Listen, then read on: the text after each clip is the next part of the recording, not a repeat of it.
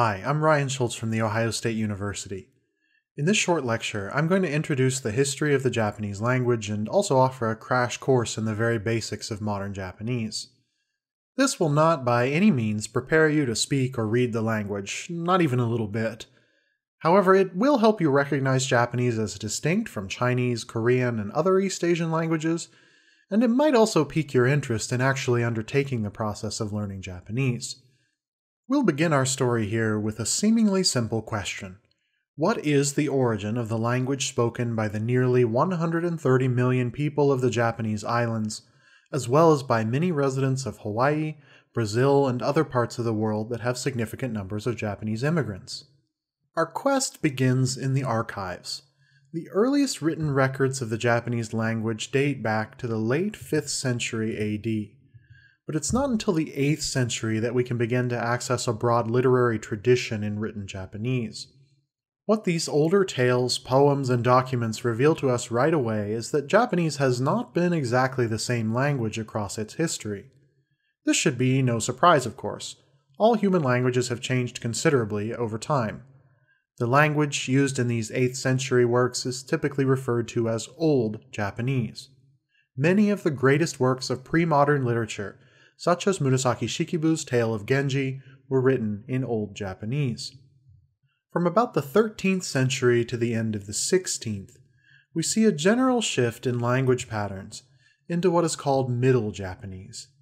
Historically, this corresponds roughly to the rise of warrior rule in Japan, following the decline of imperial power and prestige after the cultured Heian era ended in 1185. By 1600, the country was reunified at last, and the peace of the Tokugawa period brought with it the emergence of New Japanese. Though the language of today's residents of Tokyo or Osaka is far removed from that of the Tokugawa samurai, it still shares most of the same basic traits of pronunciation and semantics. The same can't be said for Old and Middle Japanese, Old Japanese, for example, had eight different vowels in comparison to the only five used in New Japanese. Alright, so we've established that Japanese has changed over time through a process of continual evolution. Let's make that understanding just a touch more complex. Neither Old nor Middle nor New Japanese were monolithic languages spoken uniformly everywhere in Japan. Instead, there were a number of different regional dialects of Japanese and indeed the forms of those dialects that have survived up to present times can be so different in sound that a speaker of the standard dialect might not even be able to understand them. However, that standard dialect, the one used in Tokyo and taught in school across Japan, the standard dialect can be understood by all Japanese, so there are no general communication barriers.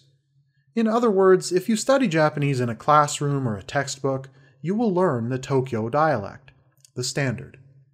Depending on where you're from, you might also learn a dialect from your parents or grandparents, and that dialect would influence exactly how you sound.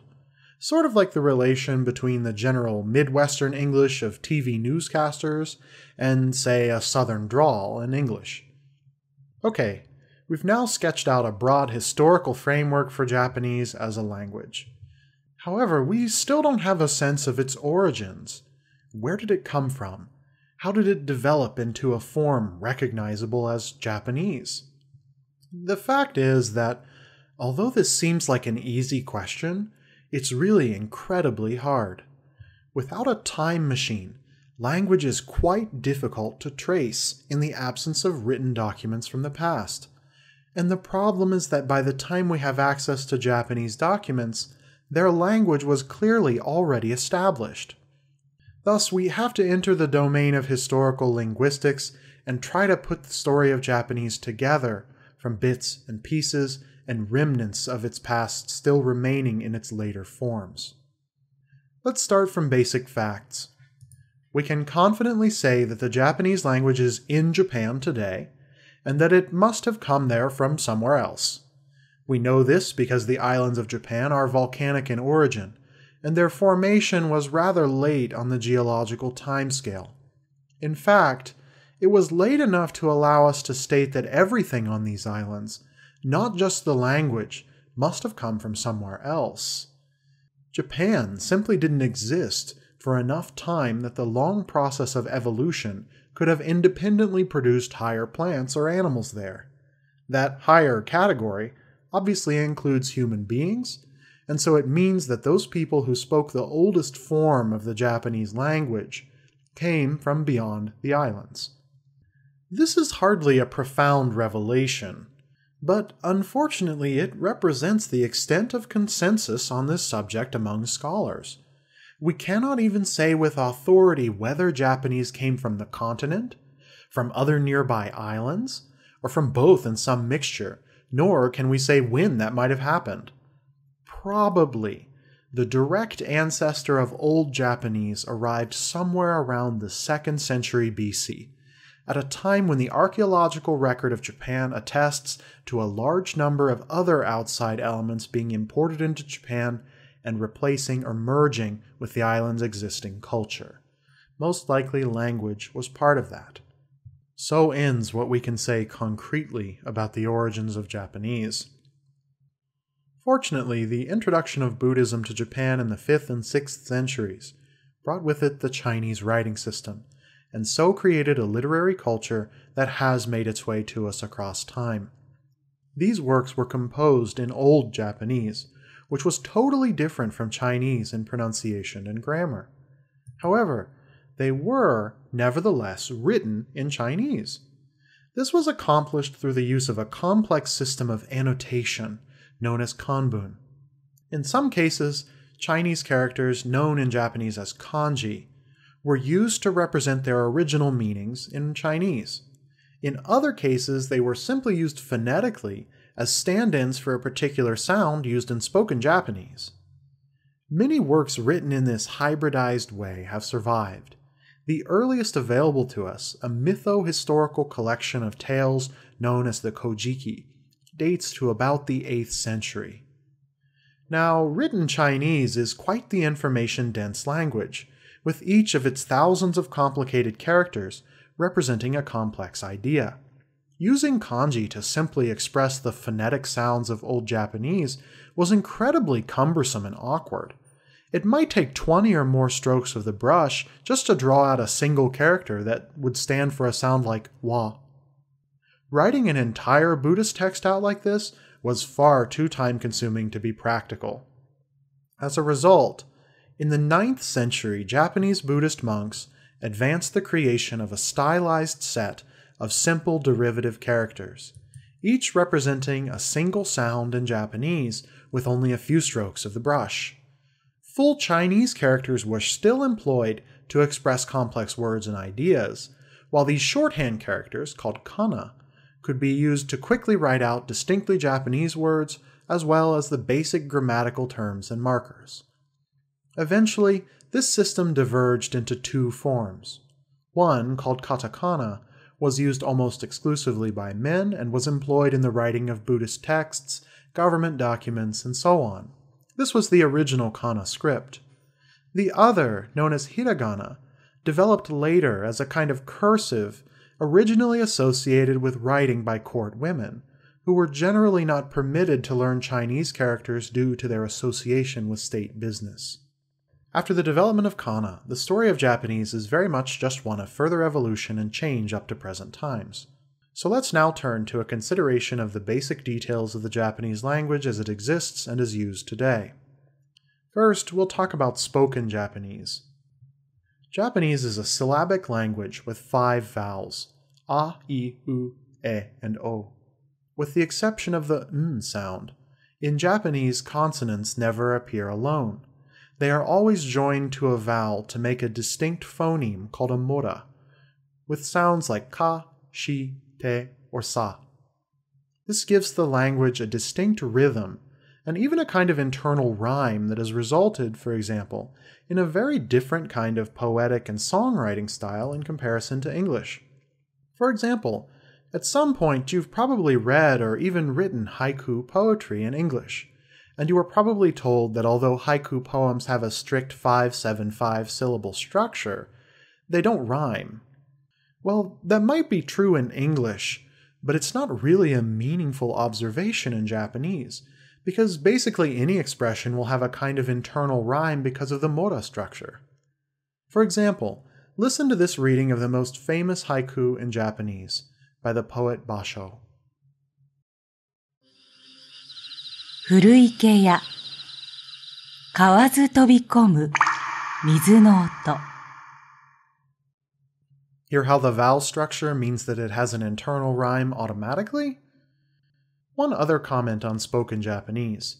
Though it does not use tones to distinguish words like Chinese, it does use a falling pitch accent placed on different mora to distinguish meaning between some homonyms. This is probably the hardest part of the language for foreign learners to master, but it doesn't really impede understanding so much. On to grammar. Japanese uses a subject object verb order. For example, the English expression, the girl kicked the ball, would be written or spoken in Japanese as something rather more like the girl the ball kicked. Japanese nouns have no grammatical number or gender, and plurality, for example, has to be understood from context, with the sole exception of a few specialized nouns that have inherently plural meanings. Both verbs and adjectives are conjugated for tense in Japanese, and of some interest to speakers of English is the fact that there is nothing like the future tense in Japanese. Instead, something called the imperfective aspect is used for both present and future meanings, and so the speaker's intent must be understood from context. There is also an elaborate system of honorific speech used to express rank and social hierarchy through language. By using different vocabulary and conjugational forms, one can indicate humbleness, politeness, or respect, and each of these has its own rules. Honorific speech is often thought of as one of the most difficult parts of the language for foreign learners, but don't worry if you're thinking about picking up Japanese. Brain scans have shown that even most native speakers of the language have to make a special effort to conjugate and form honorific expressions. Okay, with the basic characteristics of the spoken language down, we can now look at written Japanese. Just as in the 9th century, Japanese today is written with three different scripts kanji, the Chinese characters, hiragana, a stylized syllabic script with cursive shapes, and katakana, a sharper looking syllabic script. Each of these has a specific role. In general, kanji are used to represent nouns and the root meanings of verbs and adjectives.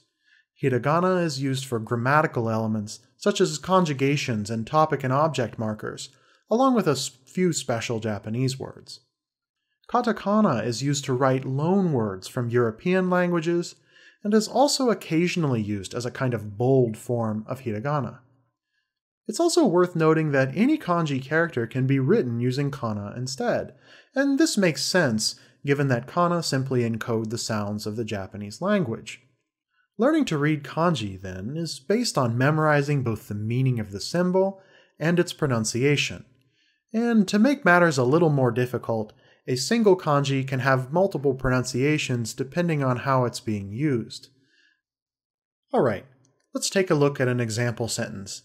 One meaning, this is my pen. これは私のペンです. Kore is a pronoun meaning this.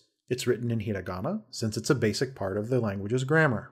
Wa is a marker sound that indicates that kore is the topic of the sentence. It's also in hiragana. Watashi means self. It's like saying I or me in English.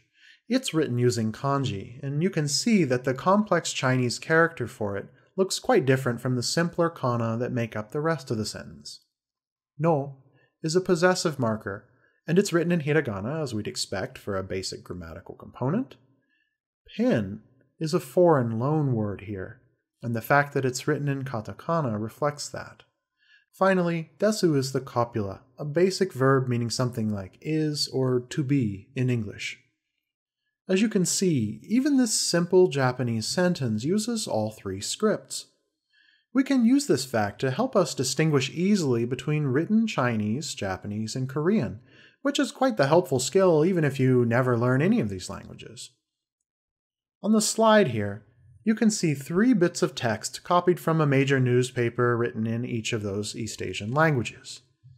If you've been paying attention to the shapes of the kana, I'll bet you can already tell which one of the three is Japanese.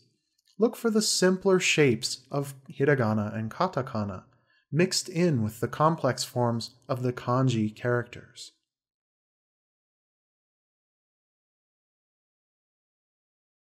Got it? It's the second one.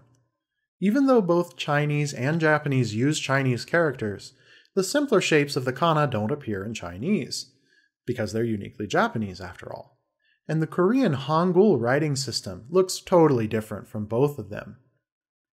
I hope that this introduction into the very basics of the Japanese language and its history has been interesting, and I hope that it will inspire you to consider studying Japanese in the future. Yoroshiku onegaishimasu.